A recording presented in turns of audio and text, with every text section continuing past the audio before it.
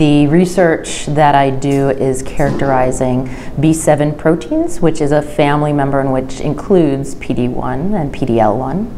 And a number of B7 proteins are highly expressed in kidney cancer, one of which, which is VISTA.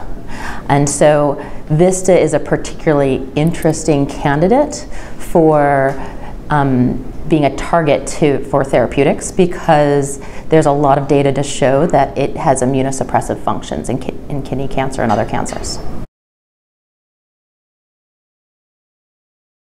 I hope that by better understanding the biology of VISTA and the receptors that it's working through, that we'll be able to develop therapeutics that will be able to help patients with kidney cancer. For example, VISTA is highly expressed across different subtypes of kidney cancer, including not only clear cell kidney cancer, but also papillary and chromophobe.